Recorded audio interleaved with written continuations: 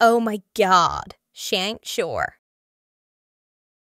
Video games, films, and TV shows all have one thing in common complex plots and detailed lore. But what if we scrap that idea entirely? This is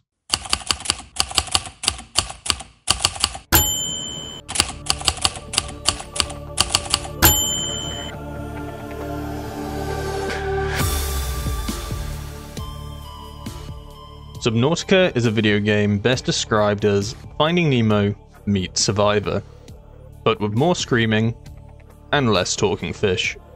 The game starts with the player crash landing on an alien planet that is completely submerged in water, and it turns out just about every life form wants to eat you.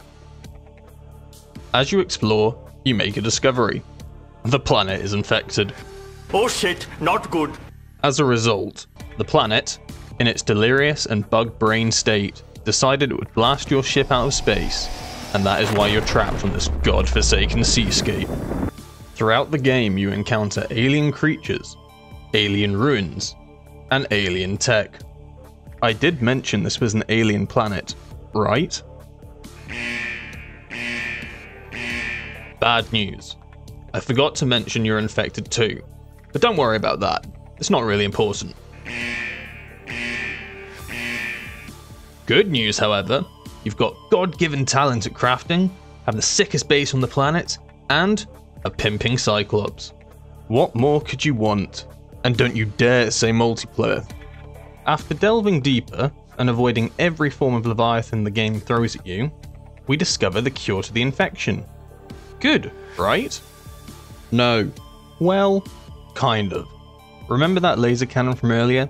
You know the one that caused us to crash? It needs shutting down before we have a hope in hell of leaving. But wait, we're in luck. It turns out by curing the planet of its infection, we can magically turn it off now. Brilliant. Long story short, now we've disabled the alien defense system, we can craft a rocket and get the hell out of here. Luckily, we can use random bits and bobs we find on the seabed, and we escape the planet. Nice job. Now you can load up a new save, and do it all again. So, to summarize, Subnautica is a game where you swim.